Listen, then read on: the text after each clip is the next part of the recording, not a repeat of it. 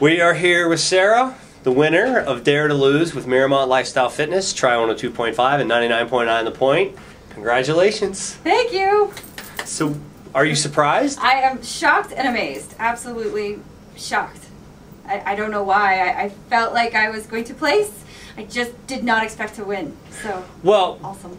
The, uh, we saw a lot of weight fall off of a couple of other participants, so it kind of made probably made you feel like you didn't have a chance to win it. Yes, I would say that's definitely true. So then, what was your motivation? Because if you weren't thinking you were going to win and you weren't worrying about winning, what was it that pushed you to work hard enough to win?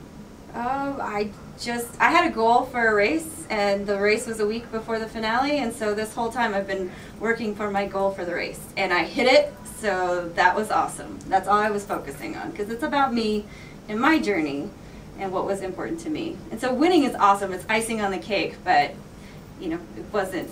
That was not my goal.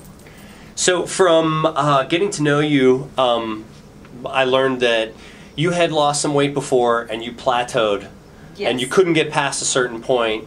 What do you think was the difference that brought you past it? I think all the help and support, and then working with Ethan because he's just an amazing personal trainer, pushed me to do things I wouldn't do to myself, and got me to that place because everything I'd read about plateaus and breaking through them was getting uncomfortable. And it's really hard to make yourself uncomfortable consistently. And Ethan made me very uncomfortable. and it was so good. So that when I ran and I could hit my goal, I could only hit that goal because I was very uncomfortable for most of my race. But it was going to end, and I was going to be happy with that. So I think that's what did it. I think being uncomfortable. So, the help and support is obviously very important. Can you talk to us about Miramont and the people at Miramont? Yes, I, the people of Miramont are fantastic. I, I really can't say enough nice things about them because you're always greeted with a smile, and it's from the people who stock the uh, locker rooms. The other day I got locked out of the locker room. They were very nice and helped me get back into my locker. um, to the trainers, to the nutritionists, and the wellness coaching.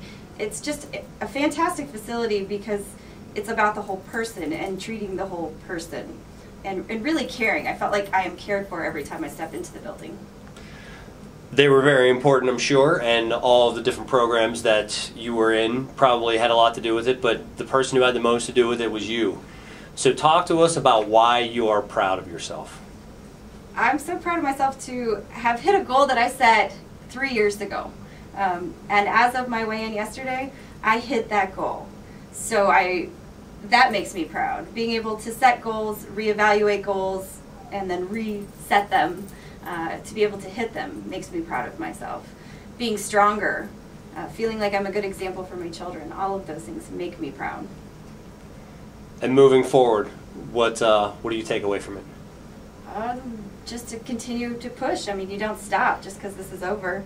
It's fun now, seeing what more I can do and, and challenging my body to try new things and do new things and break through barriers.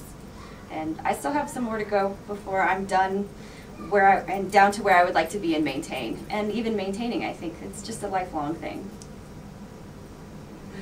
Awesome. Thank you, Sarah. Congratulations. Congrats.